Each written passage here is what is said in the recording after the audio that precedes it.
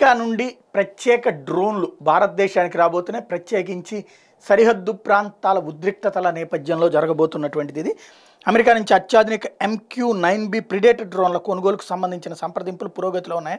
రక్షణ శాఖ వర్గాలు తెలిపే మొత్తంగా మూడు వందల కోట్ల విలువైన ముప్పై ఎంక్యూ నైన్ బి డ్రోన్లు అందితే వీటిని చైనా సరిహద్దులతో పాటు హిందూ మహాసముద్ర ప్రాంతం మీద నిఘాకు వినియోగించబోతున్నట్టు వెల్లడించాయి.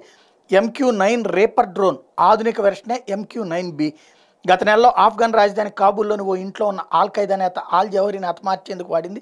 ఎంక్యూ నైన్ రేఫర్ డ్రోన్లే కావడం గమనార్హం.